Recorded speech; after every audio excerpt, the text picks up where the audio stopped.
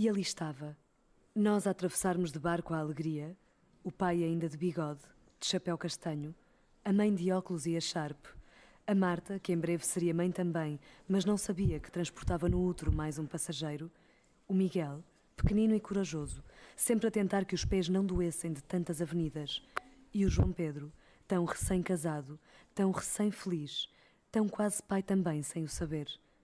Nós ao sol, de costas para ela, de frente uns para os outros, pressentindo que Nova Iorque só interessaria por ali termos estado muito juntos e que na passagem dos anos apenas isso importaria, apenas isso.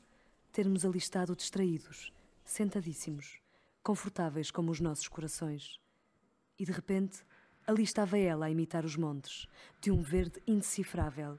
Ali estava a imitar os homens invadidos, pesada, com picos na cabeça, de braço esticado a tentar a luz, de livro pendurado. Ali estava séria, muda, quieta, toda feita de pausa, como um susto, como se jogássemos mímica, como se a seguir nos pregasse uma partida, um grito, e desfizesse a pose e risse de boca muito aberta à brincadeira, livre então dos curiosos que empunhavam câmaras, como se vê-la assim, parada e incapaz, fosse espetáculo digno de registro. Nós, a chegarmos à ilha, a desembarcarmos do alheamento, nós do tamanho familiar,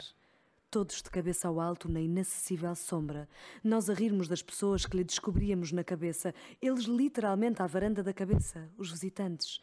ignorando que um futuro dia de setembro inibiria aquela subida aos céus.